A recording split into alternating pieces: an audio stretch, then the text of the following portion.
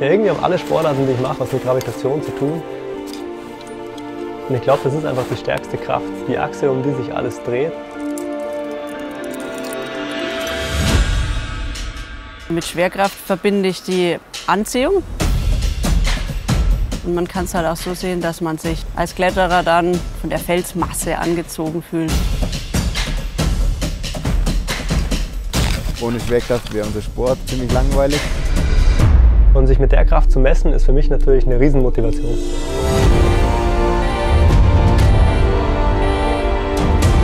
I feel like I defeat gravity all the time. Well, gravity is a friend because without gravity there is no climbing. Und wir wären ohne Schwerkraft nicht für lang auf diesem schönen Fleck der Erde.